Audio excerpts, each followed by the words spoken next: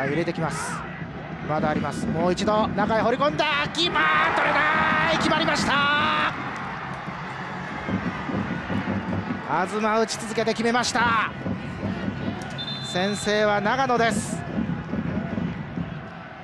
後半この時間帯で先制ゴールを決めました。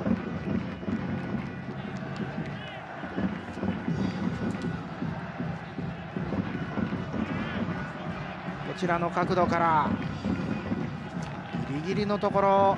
この距離。決めていきました東。